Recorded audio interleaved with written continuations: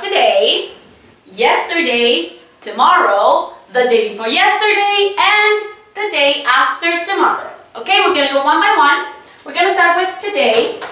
Today's day is Thursday.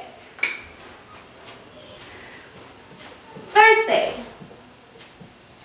I'm gonna write it here. Okay. What about yesterday? Well, we already know yesterday is the day before. Okay? Here. One. And if today is Thursday, what day was yesterday? Mm, Wednesday. Very good. Okay. I'm gonna write it here. Okay.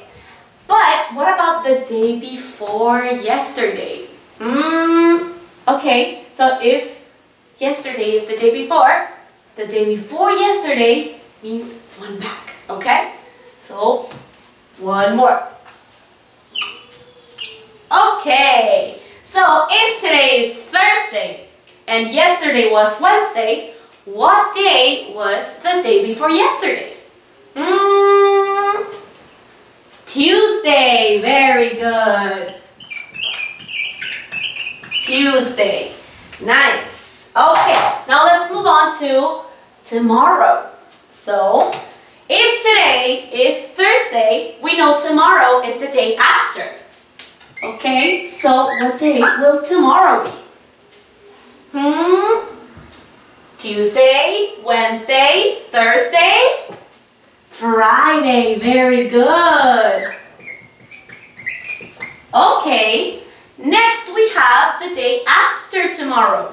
Okay, so let's go one by one. Tuesday, Wednesday, Thursday, Friday, Saturday, yes.